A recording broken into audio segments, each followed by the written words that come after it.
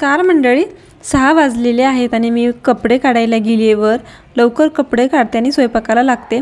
कारण मुलं दिवसभर खेळतात. शाळेत असो की घरी असो दिवसभर खेळून खेळून थकतात आणि संध्याकाळी लवकर झोपतात. म्हणून मग मी काय करते लवकर स्वयंपाक बनवून त्यांना जेवण घालते आणि झोपी घालते. म्हणजे उपाशी कधी कधी उपाशी झोपतात कधी कधी उशीर झाल्यानंतर. म्हणून मग मी लवकर बनवून त्यांना अगोदर जेवायला देते.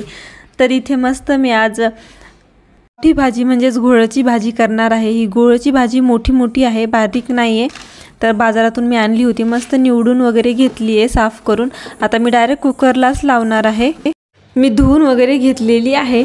आता इथे मी कुकरचा डब्बा वगैरे घेतलेला आहे. आणि ओजस पण रडत आहे. घे घे म्हणून मग तिला थोडंसं घेतलं आणि खायला दिलं. तोपर्यंत पटकन कुकर लावून घेते आणि मग डाळ शिजेल आणि मग पीठ मळून घेते. तर इथे मी तांदूळ आणि डाळ एकटाच लावणार आहे कुकरच्या दोन भांड्यामध्ये. आता डाळ एका भांड्यात आणि तांदूळ एका भांड्यात घेतलेले आहेत. मी अगोदर स्वच्छ धुवून घेते या दोघांना पण. तर चांगल्या पाण्याने त्याच्यामध्ये पॉलिश असतं. डाळ ही गावाकडचीच आहे आमच्या शेतातली.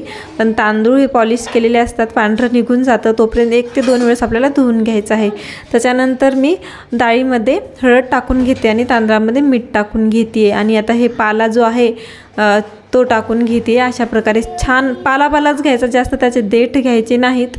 पालापाला अशा प्रकारे मी निवडून घेतलेला आहे पाहू शकताय. त्याच्यामध्येच आता मी टोमॅटो पण टाकून घेणार आहे अशा प्रकारे कापून.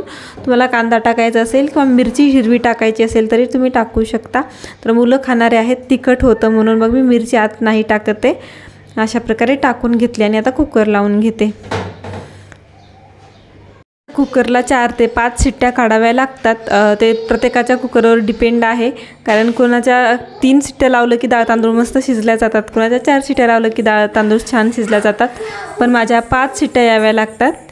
कुकर लावून घेतलेलं होतं. मस्त कुकरचा पाच शिट्ट्या होऊन थंड झालेला आहे कुकर.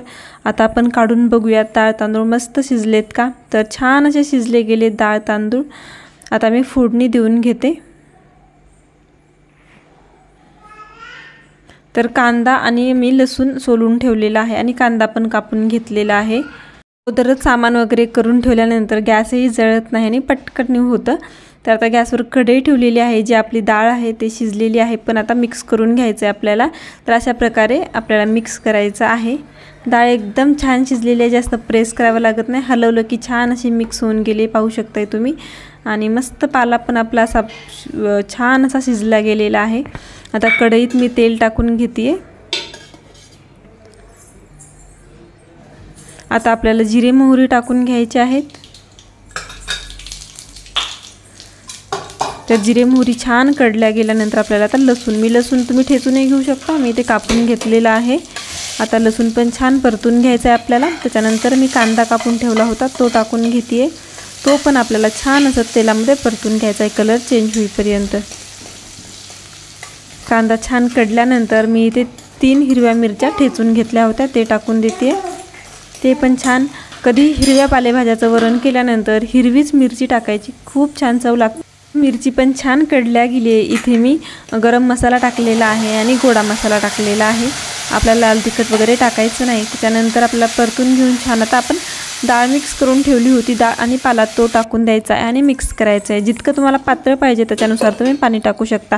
ही घट्ट छान लागते. जास्तही पातळ करू नका. असं दाटसर वगैरे ठेवा. त्याच्यानंतर चवीप्रमाणे मीठ टाकायचं आणि मस्त अशी कोथिंबीर टाकून मिक्स करायचं. याला उकळी एक येऊ द्यायची. आपल्याला खळखळ अशी आणि खळखळ उकळी आल्यानंतर गॅस बंद करायचा. आपली भाजी रेडी आहे. व्हिडिओ आवडला असेल तर प्लीज सबस्क्राईब करून जा. Bye bye